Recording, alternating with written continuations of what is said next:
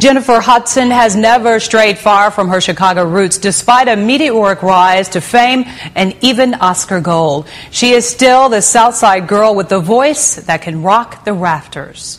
You're strong you're smart. You've taken my heart and I give you the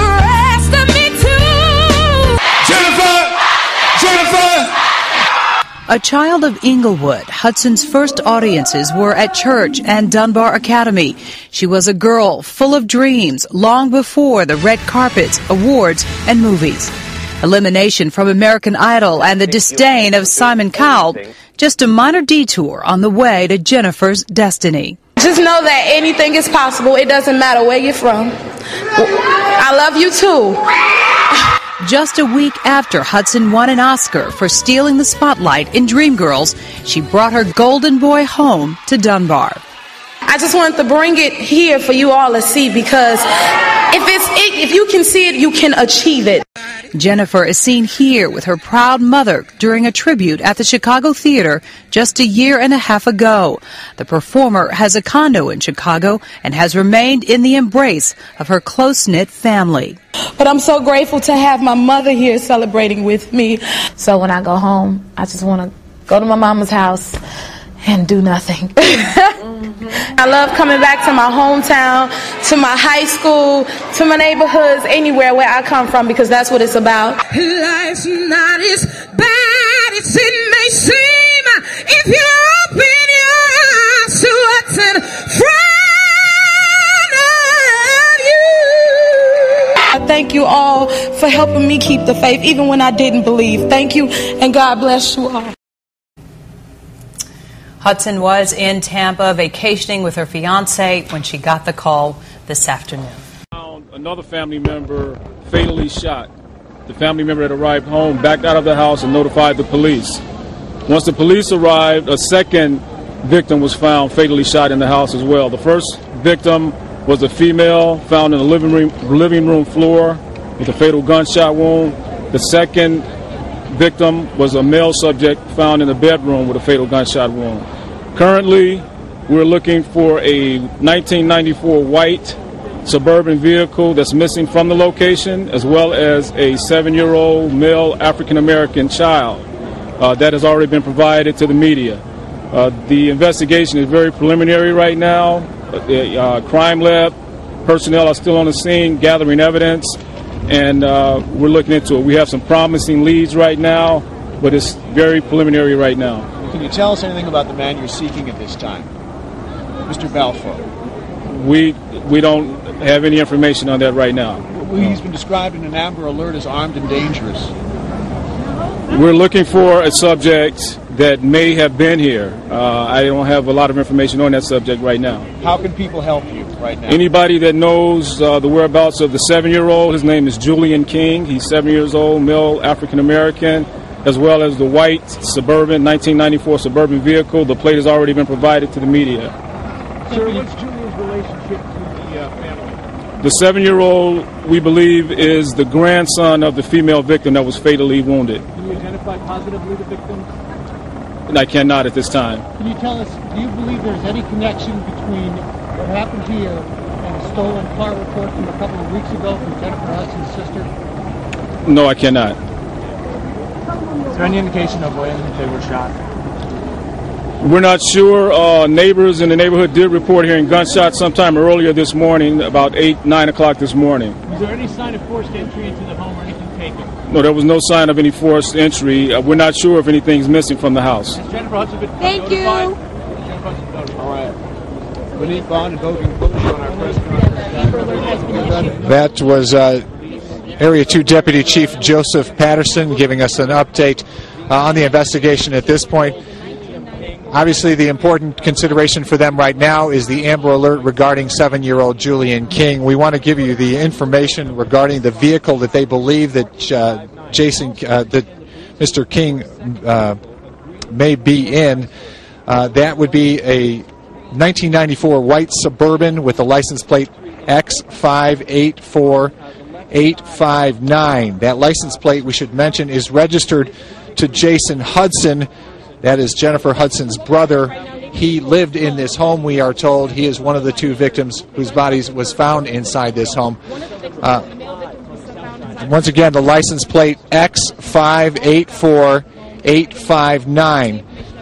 There is a large crowd of neighbors and certainly an awful lot of police here. Uh, an awful lot of family members, Hudson family members, are also gathered uh, to one side of this awaiting information. We're told that Jennifer Hudson, the Academy winning, uh, award winning actress, is in Tampa right now and has been notified and is on her way back home as well. She was just here as it was last weekend, receiving an award from the International Film Festival.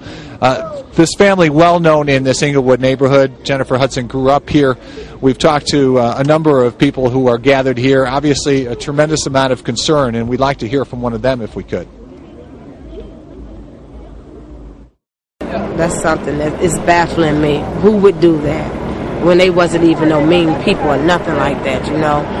Uh, uh, when he barbecue, when they barbecue in front of the house, they it, it'd be a lot of barbecue for everybody, you know, just fun, just sitting out, just hanging out all the time, just hanging out in front of the house. It'd just be fun. I mean, Jason was a good person. His mom was too. Okay, this is a picture, I believe, of Julian King, the seven year old that police have issued the Amber Alert for.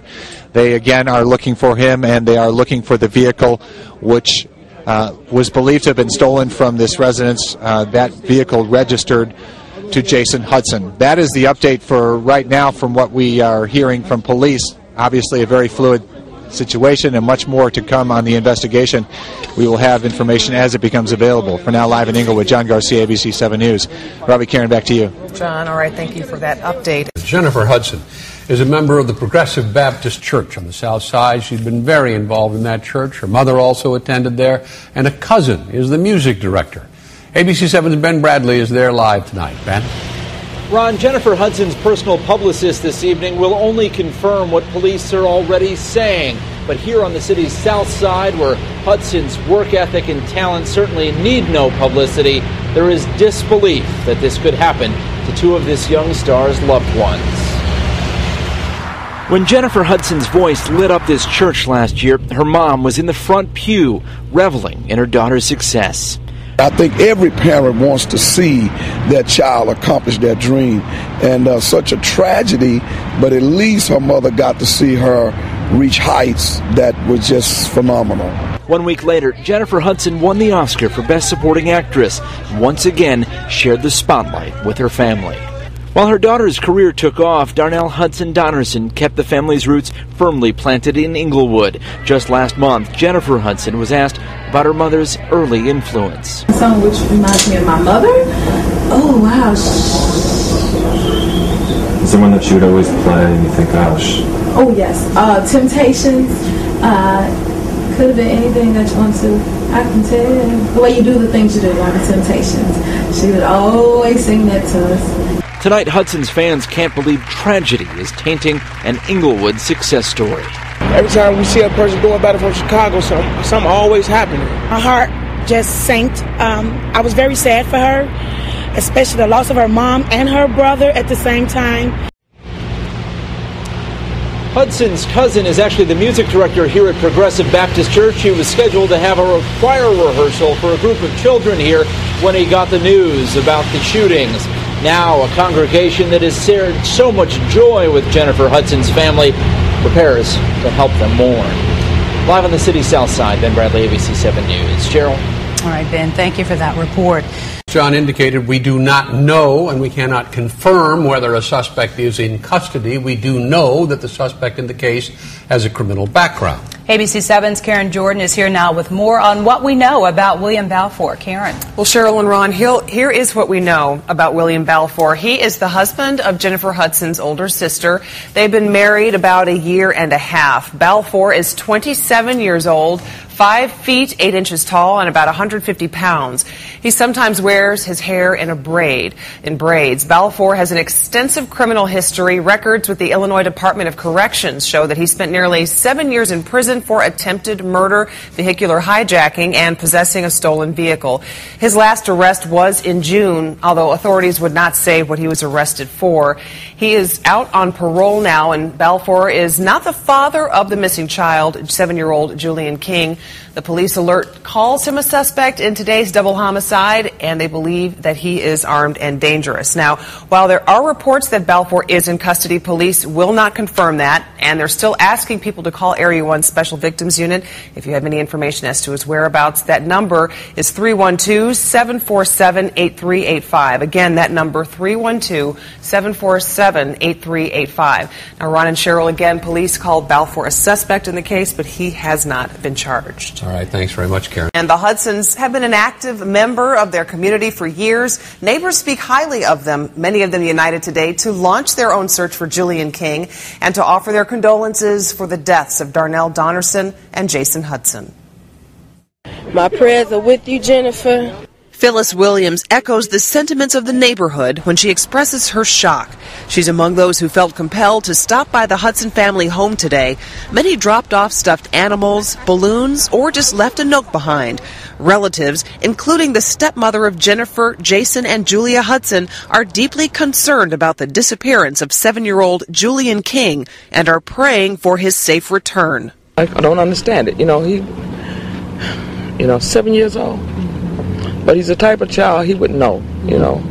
But I'm just pray the Lord. The Lord will, he'll answer prayer. He'll send him home. Jennifer Hudson is used to the spotlight and being followed by cameras, but for her relatives, this experience is a struggle. Just let me go, please. Whole family was Christian people. Um, little Julian, very intellect, very smart child, very smart, exceptionally smart. I, I think he had asthma though. I'm worried about him if he had his coat on or something, you know. Yeah, yeah. Look like somebody, anybody, whoever, just let him go. Neighbors aren't waiting around for police to find the little boy. They're launching their own search and calling on others to help. This is an issue that has touched us all.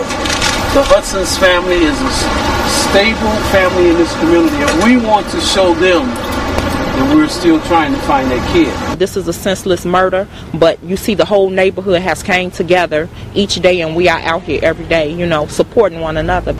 The Amber Alert for Julian King is still in effect. Anyone who's seen a white 1994 Chevy Suburban with Illinois license plate X584859 is urged to call police. Jennifer Hudson has not spoken publicly about the shootings and disappearance. We'll have the latest developments in the story on our website, abc7chicago.com, and on our next local newscast at 6 in the morning. SUV that police had been searching for in that case was found early this morning on the city's west side. The body of a young boy was found inside that vehicle. The body has not been identified yet. Jennifer Hudson's nephew, seven year old Julian King, has not been seen since Hudson's mother and brother were found dead inside their home on the south side Friday. ABC 7's Dan Ponce is live with the latest on that. Dan? Sylvia, important to note, as you mentioned, that the body has not been identified, but the outlook is certainly grim for the Hudson family. According to early reports from the medical examiner's office, the description matches that of seven year old Julian King. But again, his identity has not been confirmed. It was just before 9 o'clock this morning when police towed away the white SUV they've been looking for, uh, the vehicle that belongs to Jennifer Hudson's brother, Jason, who was killed along with their mother on Friday. The body of a child was found on the floor of the back seat. Uh, the medical examiner's office says that the uh, the body is that of an African American boy. Uh, there is an active, active police investigation underway at this hour. Uh, police blocked off about two city blocks here near the uh, intersection of 13th and Kolin on Chicago's west side. Seven year old uh, Julian King has been missing since Friday. Uh, after uh, Jennifer Hudson's mother and brother were found shot to death. Police, uh, as you'll recall, issued an Amber Alert. This morning, police got a call about a suspicious vehicle matching the description. When officers arrived here this morning, they found the body of a boy inside. Police have not released many details about the investigation and have not said when or how long the SUV has been here. And there's been a lot of discrepancies among the neighbors here, but most of the neighbors I spoke with this morning say they only noticed it this morning. That van had to just get there because I drive this strip every day. I was just right on that corner, and the van had to get there this morning. It had to. You didn't see it before? No, it was not there. It was definitely not there. Detectives have been combing every inch of this crime scene this morning. Keep in mind that the crime scene from Friday, where Jennifer Hudson's mother and brother were found shot to death, is on the south side.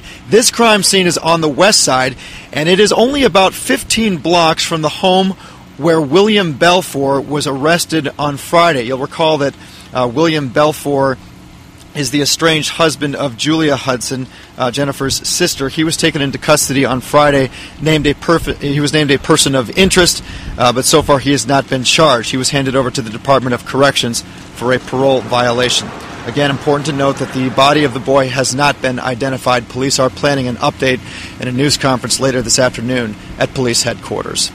Live on the west side, Dan Ponce, ABC 7 News. Linda, back to you. Dan, thank you. Prayers and support tonight outside the Hudson family home as word spreads that Jennifer Hudson's nephew was also killed, along with her mother and brother. The body of seven year old Julian King was discovered this morning inside an SUV stolen from the Hudson home. Jennifer Hudson identified her nephew's body this afternoon. The SUV was found at 1313 South Kolin Avenue, which is about 15 blocks from the West Side home where a person of interest was arrested on Friday. We have two live reports tonight, but we begin with ABC 7's Kevin Roy. He's live at Chicago Police Headquarters. Kevin. Kathy, it is hard to imagine the depth of the heartbreak for Jennifer Hudson and the rest of her family tonight. Their worst fears realized today that seven year old Julian King, missing since Friday, was indeed dead. This afternoon, they had the grim task of identifying his body, and we are told that Jennifer Hudson was the strong leader of her family. Oscar winning actress Jennifer Hudson led her family to the Cook County Medical Examiner's office this afternoon for the second time in three days. Inside, the family chose to identify seven year old Julian King on a video screen that showed his face. Obviously distraught, uh, but remarkably, Jennifer Hudson was incredibly strong for her family, and it was very apparent that she was the leader within that group that kept the composure. An Amber Alert issued on Friday after Hudson's mother, Darnell Donerson, and her brother Jason were found shot to death in their Englewood home came to end this morning with the discovery of the white SUV parked at 1313 South Kolin. Lynette Loudon says she wondered all weekend about the SUV parked in front of her home. After seeing news reports that police were searching for such a vehicle, she told her husband to write down the license plate number. He went outside and he went and looked at the license plates and it matched what was on the TV. She called 911 and police found Julian King's body in a rear seat. Police say he was shot. The SUV, which was registered to Jason Hudson, was found on the west side about two miles from the 1900 block of South Spaulding, where on Friday night, police arrested 27 year old William Balfour, the estranged husband of Julia Hudson, mother of Julian King. Police continue to call Balfour a person of interest in the killings. Tonight, they were back at the Hudson home in Englewood, using metal detectors on the yard and searching inside the house again as well. Police Superintendent Jody Weis says he's confident the case will be solved. I suspect that we'll have some evidence that will link us to the killer. Now, William Balfour has not been charged in this case. Over the weekend, he was transferred to a state prison facility for violating the conditions of his parole. He was convicted in 1999 for attempted murder. Tomorrow morning, an autopsy will be performed on the body of seven year old Julian King. Live at police headquarters on the south side, Kevin Roy, ABC 7 News. Ron? Kevin, the Hudson home has attracted crowds of people touched by this tragedy. A vigil held there tonight was one of several gatherings arranged to show support for the Hudson family. ABC 7's John Garcia is live there. John? No question, Ron, that people all over the city have been touched by this tragedy. Police have been out here all night, not only, as Kevin said, continuing their investigation, but also doing some crowd control. Hundreds of people have stopped by this home to pay their respects, all of them touched by this family tragedy. They come from all over, bringing items of remembrance. Most have never met anyone in the Hudson family, but they are moved by the family's tragedy. I just felt I had to do something. I had to do something. Now, this is a sad day. You know, all the young people getting killed out here. And I got children of my own, so it kind of touched me. That's why I wanted to come out here and show my support. The sign across the street at the church says it all. And in front of the family home, the scene of at least two of the homicides, the mound of flowers, candles, and stuffed animals grows as people stop by to pay their respects. Some view these murders as a high profile example of a neighborhood epidemic of violence. We've just been praying for them. I mean, it just felt like family to us. Just because you think I'm right. They sing and pray and come together, hoping to send their wishes of condolences to the surviving members of the family. Many in the Hudson family, meantime, attend private prayer services at Pleasant Gift Missionary Baptist Church.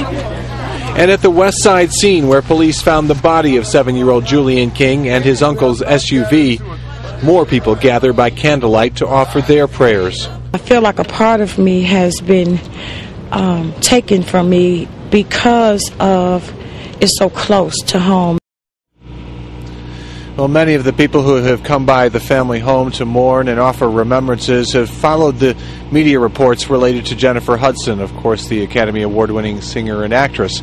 There are also some very personal notes, however, from people who were friends and very close to the three victims individually. Three victims who were all members of this community and this neighborhood. Live in Englewood, John Garcia, ABC 7 News. Kathy, back to you. Thanks, John. At Julian King's elementary school, students and teachers had to deal with the tragic news. The boy attended Gonzales Scholastic Academy on the south side. He was a second grader there. Julian's principal said he was a special child. He was such a sweet, sweet child. Everybody loved him. Um, just very angelic and uh, very gentle child, very sensitive. Special teams were brought in to help students and teachers deal with the news today. Services for Julian King, Darnell Donerson, and Jason Hudson are still being worked out. Jennifer Hudson's aunt owns a funeral home and says that they will handle the arrangements for the family.